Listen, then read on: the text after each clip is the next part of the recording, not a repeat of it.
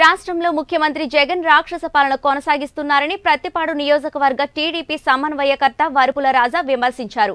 ప్రత్తిపాడులో TDP కార్యాలయంలో ఏర్పాటు చేసిన మీడియా సమావేశంలో వరుపుల రాజా మాట్లాడుతూ అమరావతి రాజధానిపై ప్రభుత్వం కక్ష సాధింపు చర్యలు చేపడుతుందని మూడు వందల రోజుల నుండి దీక్ష చేస్తున్న రైతులపై మంత్రులు చేస్తున్న వ్యాఖ్యలు దారుణమని మంత్రుల తీరుపై మండిపడ్డారు. ప్రధానమంత్రి నరేంద్ర మోడీ అమరావతి రాజధానిగా ఉండాలని శంకుస్థాపన చేస్తే ఇప్పుడు అధికారంలోకి వచ్చిన వైసీపీ ప్రభుత్వం కక్ష సాధింపు చర్యగా అమరావతిని రాజధానిగా అభివృద్ధి చేయకుండా అడ్డుకోవడం అక్కడ రైతులు మూడు వందల రోజుల నుండి దీక్షలు చేసి న్యాయం చేయాలని అమరావతి రాజధానిగా ఉంచాలని దీక్ష చేస్తున్న రైతులపై అక్రమంగా కేసులు పెట్టి పోలీసులతో వేధించడం చూస్తే వైసీపీలో రాక్షస పాలన కొనసాగుతుందని మండిపడ్డారు. అమరావతి కోసం రైతులు ఆత్మహత్యలు చేసుకున్నా ప్రభుత్వం సహజమైన మరణాలుగా మాట్లాడడం దారుణమని రాజా ఆరోపించారు. పిల్లలకి ఎవరికి కూడా మాస్కులు లేకుండా ఎక్కడ పడితే అక్కడ మీటింగ్లు పెట్టి వాళ్ళు వచ్చి ఐదు నిమిషాల గురించి ఐదు నిమిషాలకి ఫోజులు ఇచ్చి మాస్కులు లేకుండా మరి పిల్లల్ని ఇబ్బందులకు గురి చేస్తున్నారు.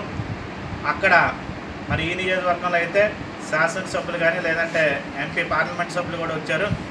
వచ్చి వీళ్ళు ఉన్నది పది నిమిషాల పావుగంట అయితే ఆడి పిల్లలు నుంచోబెట్టి ఫోజులు ఇచ్చి ఫోటోలు తీయించుకుని వందలాదిగా పిల్లలు సమకూర్చారు. మరి ఏదైనా ప్రమాదం జరిగితే ఏదైనా పిల్లలకి మరి రాకూడదు వస్తే ఏదైనా కరోనా ఆ పిల్లల్లో వ్యాప్తిస్తే దీనికి మీరు బాధ్యత వహిస్తారా అని చెప్పి సందర్భంగా తెలియజేస్తున్నాం అంటే మన నాయకులు అవింది ఫోటోలు ఫేజులు ఇవ్వడం కాదు. గతంలో మేము చాలా కార్యక్రమాలు చేసాం వరుపుల తమ్మారావు ఫౌండేషన్ తరపున ఈ నియోజకవర్గంలో దాదాపుగా ముప్పై వేల స్కూల్ పిల్లలు ఉంటే ముప్పై వేల మందికి కూడా ఒక సంవత్సరానికి సరిపడా ఉచితంగా బుక్స్ ఇవ్వడం జరిగింది. ఉచితంగా బుక్స్ ఇచ్చి ప్రతి ఓళ్ళకి కూడా చదువుకోవడానికి పూర్తిగా సహకరించడం జరిగింది. అంటే పిల్లలకి ఇవ్వడానికి చదువుకి ఇవ్వడానికి మేము వ్యతిరేకం కాదు కానీ ఇప్పుడున్న పరిస్థితుల్లో మీరు వాలంటీర్లు ఉన్నారు కదా వాలంటీర్ల ద్వారా అన్నీ పంచుతున్నామని చెప్తున్నారు. వాలంటీర్ల ద్వారా అన్నీ పంచినప్పుడు ఎక్కడెక్కడ స్కూల్ పిల్లలు ఉన్నారో ఎక్కడెక్కడ స్కూల్లో ఏ స్కూల్లో చదువుతున్నారో అన్న మనం గుర్తించి మీ దగ్గర లిస్టులు ఉంటాయి కాబట్టి వాలంటీర్ల ద్వారా ఇంటికి పంపచ్చు కదా. వాలంటీర్ల ద్వారా ఇంటికి పంపిన అందుతాయి కదా.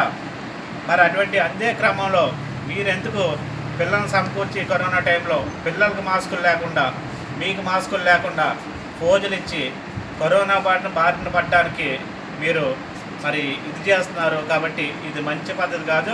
మీరు ఫోజులు ఇవ్వడం మానేయండి. మీరు ఈ కరోనా టైంలో ప్రభుత్వం నుంచి ఏదైనా సహకారం వస్తే ప్రజలకు అందజేయండి. మంచిది చాలా సంతోషం. అందజేసే క్రమంలో ఏదైతే వాలంటీర్లు ఉన్నారో వాలంటీర్లు గొప్పగా పనిచేస్తారో మీరు చెప్పుకుంటున్నారో ఆ వాలంటీర్ల ద్వారా ఇంటింటికి కూడా మీరు చేరవేయండి అని చెప్పి సందర్భంగా తెలియజేస్తూ ఇటువంటి మరి ఫోజులు ఇచ్చే కార్యక్రమం ఎక్కడితో ఉన్నా సరే ఆపాలని చెప్పి సందర్భంగా తెలియజేస్తూ సెలవు తీసుకుంటాం చాలామంది చనిపోవడం జరిగింది.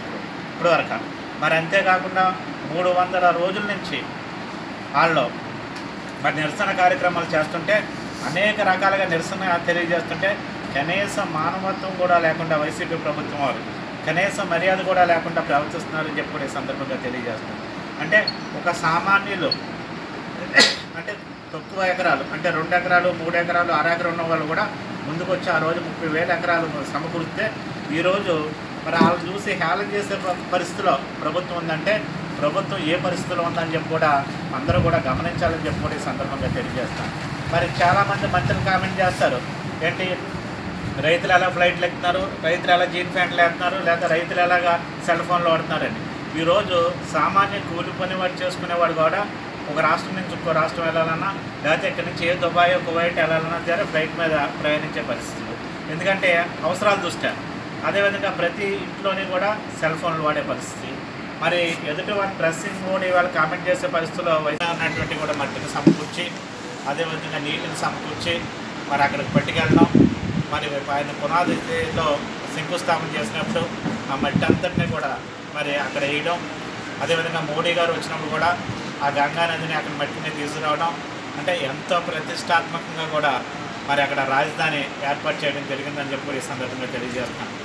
జరగడమే కాకుండా తెలుగుదేశం ప్రభుత్వంలో ఉన్నప్పుడు మంచి దాని రాజధాని నిర్మించడానికి దాదాపుగా రహదారి నిర్మించారు.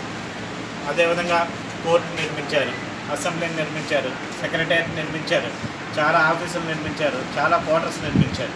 అన్నీ జరుగుతున్న సందర్భంలో జరుగుతున్న సందర్భంలో మరి ప్రభుత్వం మారిన తర్వాత మరి ఏదైతే దేశంలో ఉన్నత రాజధానిని నిర్మించాలని